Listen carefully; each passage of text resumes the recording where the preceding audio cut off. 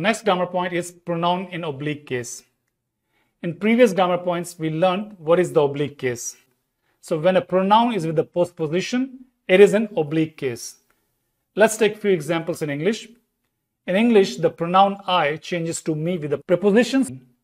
I becomes me, for me. It is never for I. The pronoun we becomes us in oblique case.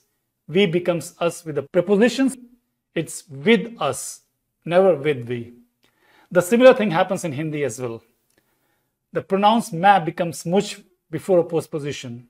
Mujhse, from me. It's never masse. Similarly, wo becomes us with the postposition. It is usse, not wo se.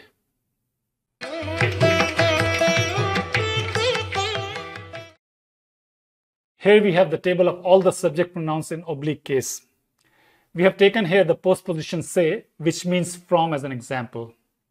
In the first column, we have subject pronouns. In the second column, we have the oblique forms of the pronouns.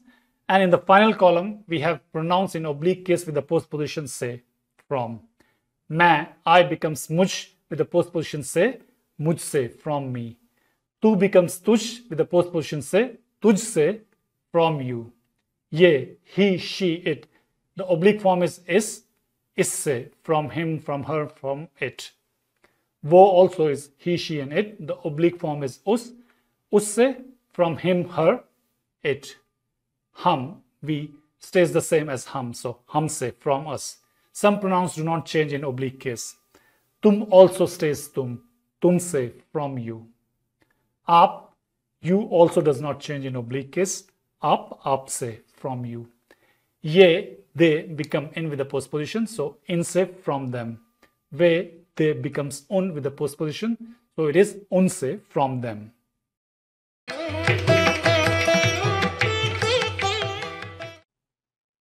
Let's take some example sentences where the pronouns are in oblique case.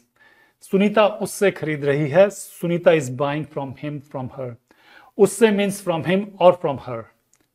मैं ये किताब तुमको देता हूँ I give this book to you तुमको is to you वो गाड़ी अच्छी है, उसमें कोई खराबी नहीं। The car is good there is no problem with it literally it means in it उसमें in it you must have notice that the pronouns with the post position are written as one word you can see in the above example उससे from him from her is one word तुमको to you is also one word उसमें in it is also one word pronouns with the post position are written as one word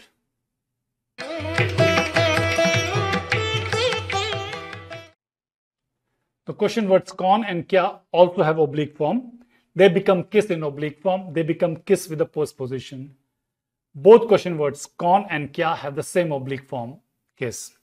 Con, who, its oblique form is kis, whom, kisse, from whom. Just like pronoun, both words are written together. Kya, what, kis, what, kisse, from what कौन? Who the oblique form is किस that means whom किसके साथ? With whom क्या means what the oblique form is किस what किसके साथ? With what here some example sentences तुम किसको फ़ोन कर रहे हो? हु आर यू टेलीफोनिंग आप किसके साथ भारत जा रहे हैं? With whom you are going to India किसके साथ चाय पीते हो? दूध या नींबू?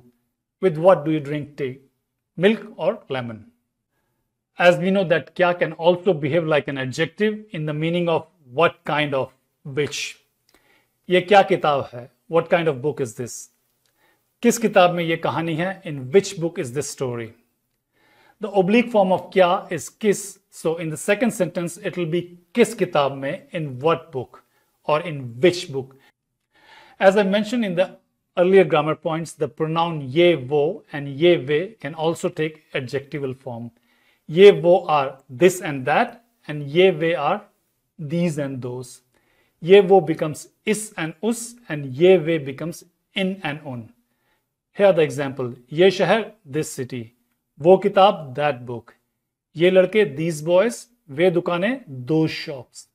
And of course, before a postposition, the pronouns will decline as usual. Ye becomes is. Is shahar mein, in this city.